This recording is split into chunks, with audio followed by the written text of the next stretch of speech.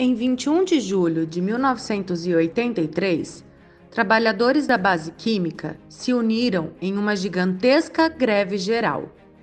Protestavam contra o alto custo de vida, o desemprego e cortes de direitos, como abono de férias, auxílio alimentação e transporte.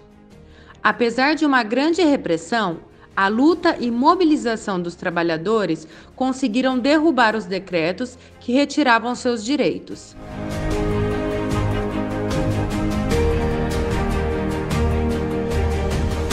Essa data até hoje é celebrada como Dia Estadual do Trabalhador da Indústria Química.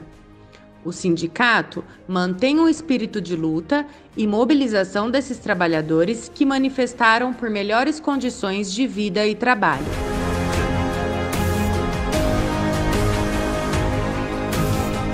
Parabenizamos todos e todas pelo Dia do Trabalhador da Indústria Química.